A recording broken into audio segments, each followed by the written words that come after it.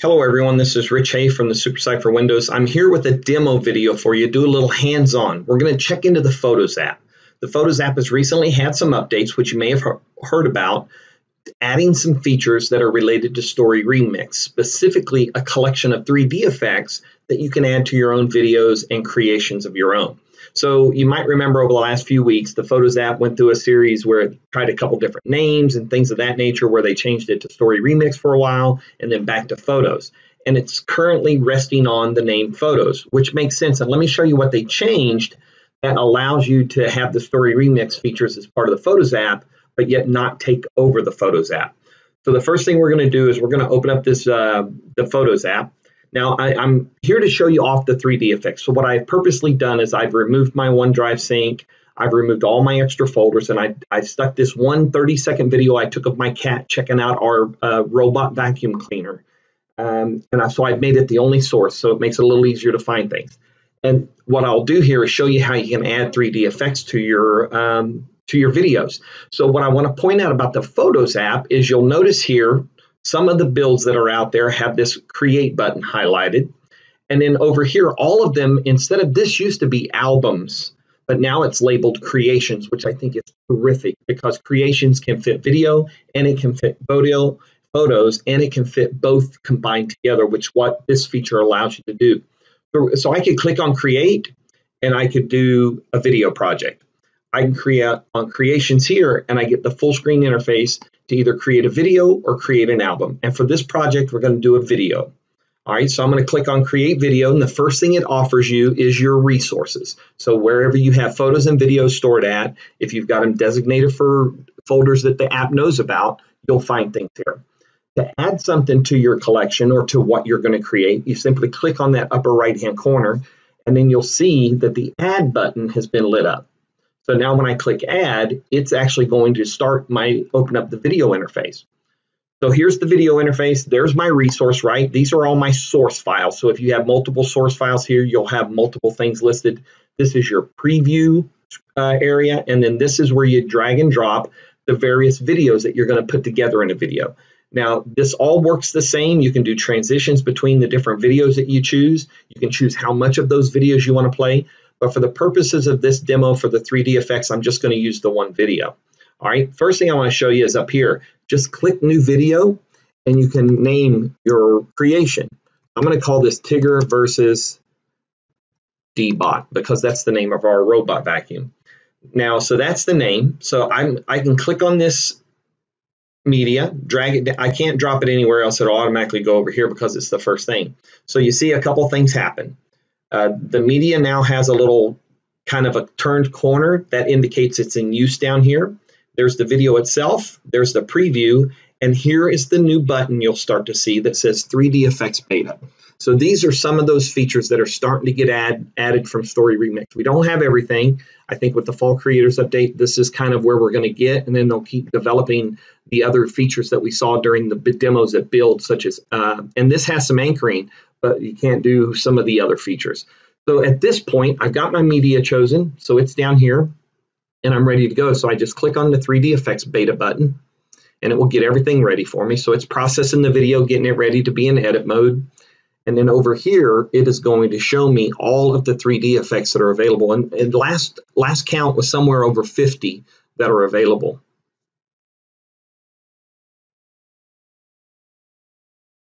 And I'm not no, I thought for a minute I wasn't recording. Okay, I'm recording. So while we're just waiting on this to pop up. There it is. All right, so now in the big window, I have a preview of the video. And over here are all of the 3D effects that are available. So there, that is uh, 3, 6, that's some more there. You can see the different names of them, laser beam, ray of light, glowing sparkles, glow, there's flies, fireworks, smoke, there's explosions, there's fires, there's butterflies, there's leaves, there's bubbles, there's flames, there's a tornado. So these are the different elements that you can put into the video. So let's start with putting something on top of the Dbot here that kind of makes it a bit menacing, okay? So what we're going to do is we're going to take this Neon Sphere and click on it and you see what happens. It kind of transitions. So this is here. Every every 3D effect has volume. So if you don't want the volume, you just pull the volume all the way down. If you want to anchor this to a specific point in the video, you can do that as well. Now over here in the dim, in the video window, I can grab this just like anything and I can maneuver it and put it over top of the D-bot. I can rotate the effect. I can rotate it front ways and sideways. And I can do it back and forth this way. But I'm going to leave it with all the defaults. I'm going to place it right over top the D-bot, okay? And I'm going to tell it to anchor it to this point. And it's doing a little work to do that anchoring. And so while it's doing this, what it's basically doing is, is looking at the video and looking at the D-bot's position and anchoring this effect over top of the D-bot. And as soon as this is done, what we can do is edit the length of time that this effect is visible in the video.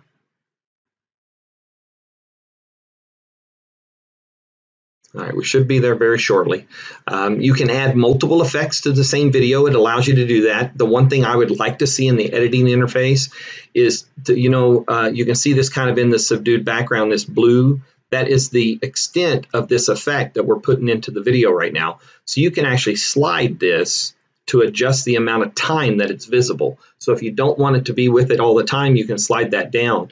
Now, what I found was is the tracking wasn't perfect in this specific video, so I have to choose to just have it as part of the video for a short period of time.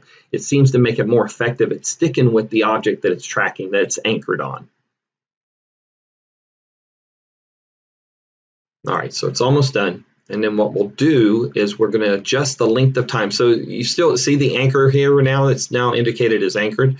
And what I'm going to do is I'm going to shorten the amount of time that it is part of the, the effect. So you can see where it sticks with it best.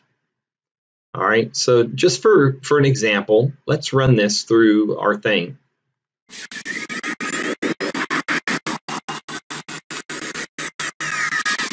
All right, so you can see the effect was over time. I apologize for the stuttering, but on this laptop, I've also got the recording software running, so it kind of throws it for a loop. Now, this effect is in there. If I want to add another effect, which I do, I hit the plus button and I come back to all of the, the effects that are available. Now, we're going to, uh, let's see, what can we do? Um, let's put a tornado over top of the D-bot here. All right, so we're going to let the video go a little bit further.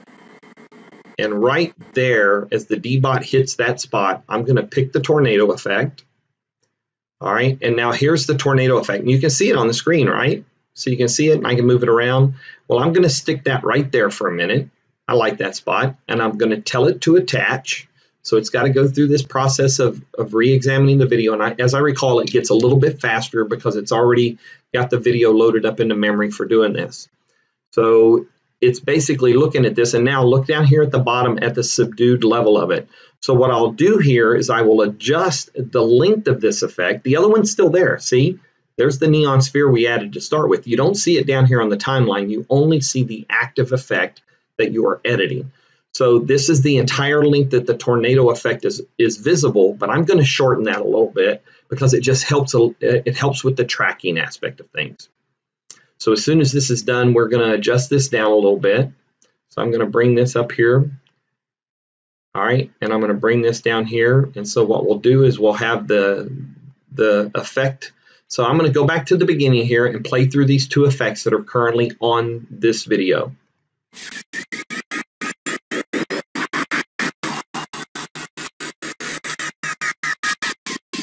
So as the D-bot hits the uh, refrigerator area where we anchored that effect at, there it is. All right. So the tornado spins up and now he goes back after the cat in the corner again. All right. So I want to add another effect here. So I go back to plus and there is a lightning bolt that can be added. So now, okay, you see the lightning bolt is open. So that is the active effect and the other two are still there. So this is a, a, a simple click and drag. So I'm going to stick that right on top of the, uh, actually I'm going to shorten the box a little bit. Make it a little more intense so we can see all of it. We'll put it right there. We're going to tell it to anchor again because that just allows the effect to be um, a little more effective and you can see it's a lot faster. All right, so now um, I'm going to check this out. See how that works out. You can see the where it's anchored at. So that's the spot in the video that the, the lightning strike will appear. And we have paired that for when the D-bot will be at that spot. So as we go forward, there you go. So there's a lightning strike right at that moment because we anchored this effect right here in the video itself. So let's roll it forward a little bit more. Again, I apologize for the stutter, but we'll see the video clean here in a minute. Now the D-bot gets stuck in the corner and Tigger goes, checks it out a little bit more, and then we're gonna stop right here, and I'm gonna add another effect. So let's see what else can we add that's a bit menacing to the, uh, let's see, snowflake sparkles, no. Uh, party lasers, let's stick some party lasers on there, okay? Wow, those are big. So you can adjust the size of these by adjusting the corners, drag and drop. I'm going to put it right here so that it matches up, anchors at the point in the video when the D-bot is right there, and I'm going to tell it to anchor. So it's running through that process right now. I, I, really hope I get I've given the feedback that I think the editing timeline needs to be a little clearer as to you know show me where all the effects are so I can hover over them and adjust them and things like that. I think that will clean up the editing process a little bit. But uh, it's still not bad. Uh, this is the first beta. This is going to continue to receive feedback. You can do feedback in the feedback hub on it on Windows 10 and continue to give feedback to the team about this app. And what's great is it's a part of the app, which means it can be shipped separate from the OS. Okay, so let's see what we've got here so far. So let's go a little bit back in the video and let's give it a play.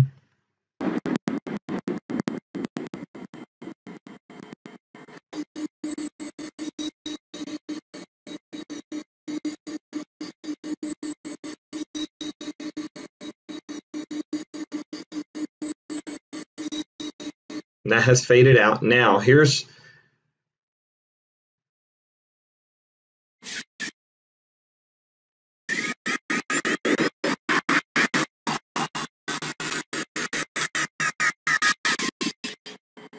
I, I gotta say that the tracking is not perfect. Uh, that's why I, you know, I tried to attach something to this thing to track through the whole video and it did not track well. So um, there's the lightning bolt. So now it's going off in the corner. Now we get the party laser starting to fire up. All right, and it's going to come back around. I'm not seeing the whole video though.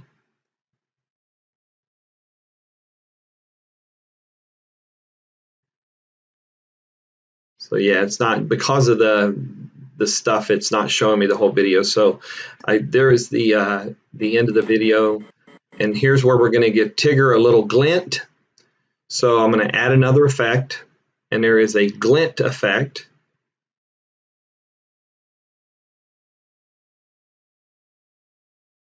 I'll find it here in a minute. There it is. Okay, so I'm going to click on the glint, and I'm going to stick the glint right over Tigger's head at this point because he's going to get a chance to kind of look at the look at the thing and send his glint that way. And then shortly after his glint, let me advance this. We'll stop there and we're going to add an explosion. All right, we've got impact with sparks and then there is an explosion up here, I think, right there. So we'll click on exposure, explosion, and we're going to cover the D-bot with that and that's going to be the end of the video. All right, so um, when I'm done with all this, all right, I'm not going to play, I'm going to hit done, and it's going to process the video, process the changes, and it's going to put everything together in one single video. And then once this is done, it will give me some options. Uh, you'll be able to share it. You'll be able to save it. Obviously, it'll be saved in your uh, your OneDrive or whatever designated folder you're using to save things. Um, but and, and again, I have to apologize about the the stutter on this machine because I am trying to run the app and that my Camtasia screen recording software, so it's kind of keeping the system busy. Um, but it does. I've run it on its system by itself on different types of systems, and it runs very smooth.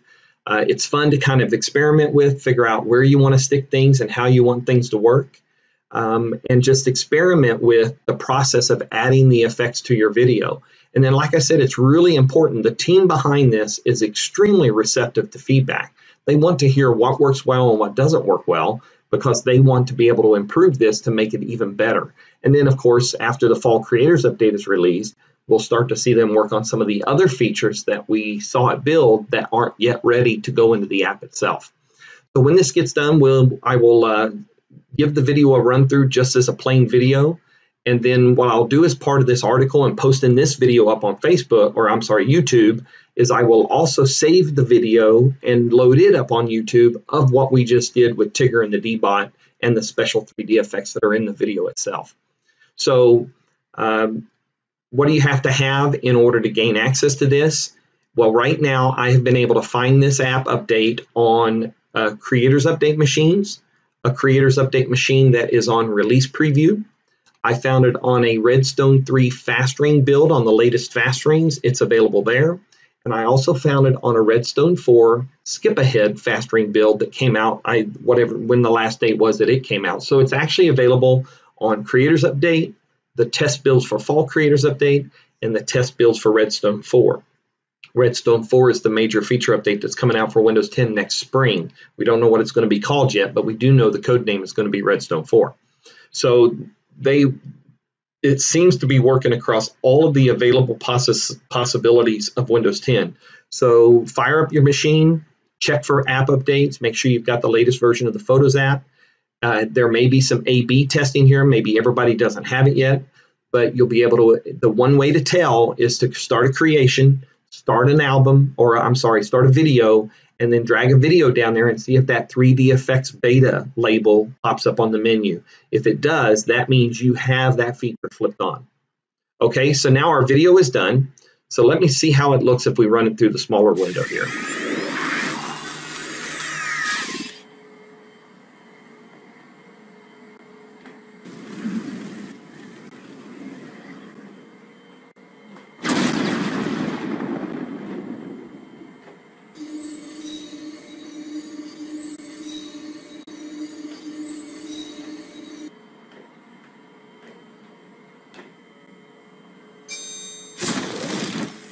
And there you go. Tigger wins against the D-bot. So that's that's what it takes. There you're done. Now here are the options that are in the menu for you to export or share. You can add music to it, but adding music to it, you know, you have to think about the sound effects that are in there as well, but you can add music. So I'm going to choose export or share, and what you get is an option for small, medium, or large. Uh, small, obviously quickest, best for email and small screens. Medium, best for sharing online, such as Twitter or Facebook. And longest is for the big screens, better quality. So I'm just going to click a quick M right here, and you don't have to do anything. It automatically starts exporting the video and creating it for a share. And as soon as it's ready to share, you can directly share the video via your favorite social media or uh, any any other place that you would like to share it to. You, the video is being saved on your system, so it's in your uh, collection of videos. So you'll be able to find it there and share it that way as well if you need to physically share it with somebody. All right, there you go. And then it pops up to show you where it's saved at.